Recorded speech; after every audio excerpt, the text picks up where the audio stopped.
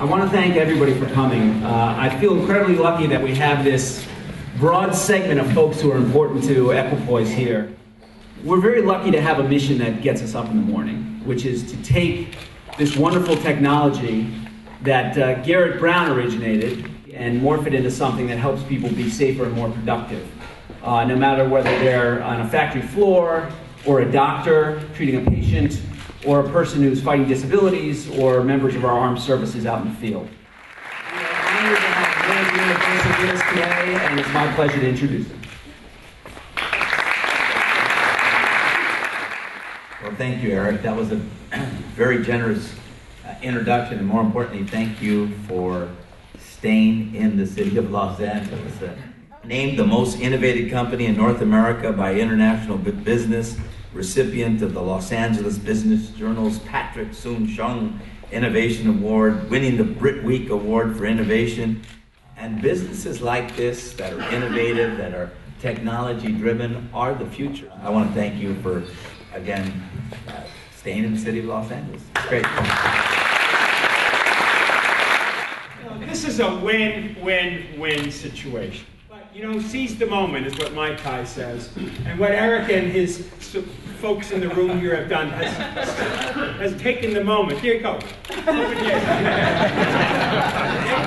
when you see Patrick, who doesn't waste any money or invest in anything stupid, you know that you're in the right spot at the right time.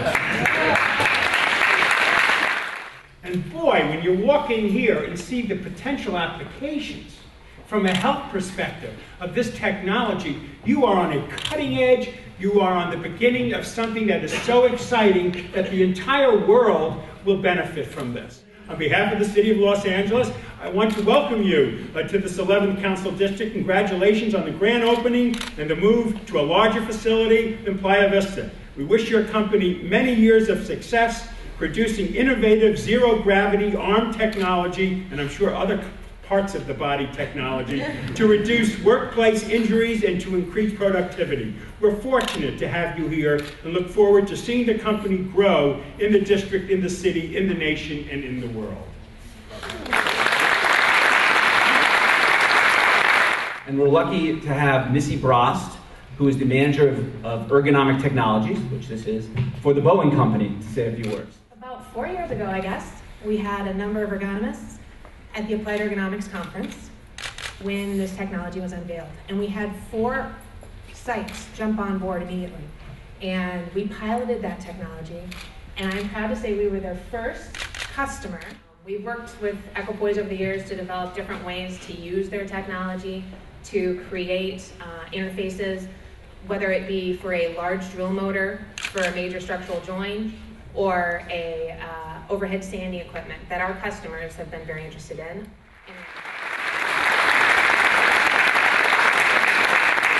Thank you, Missy. Boeing was indeed our very first customer and remains uh, a terrific customer, and we collaborate with them very closely.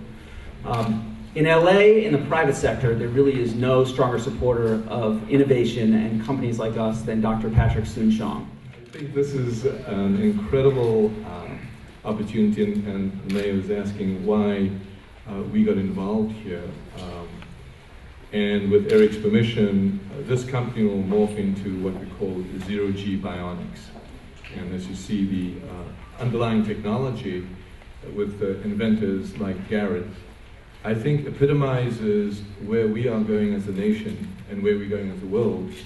That you actually take technology that sits in a different discipline, the entertainment industry, and you take um, technology that actually is going to work in the manufacturing industry and convert that also into the health and, and, and, and the opportunity to create what I call this amazing convergence. One thing we have as a nation is innovation. And I don't think anybody can beat us with innovation. So the idea would be if you can combine innovation with manufacturing skills and next generation electronics and microelectronics and nanophotonics and bring them all together into one little area, and I think Equipois truly epitomizes that. Mr. Mayor, we've not talked about that yet, but we have the vision. We can't let Silicon Valley in Northern California dominate. We want to create Silicon Beach.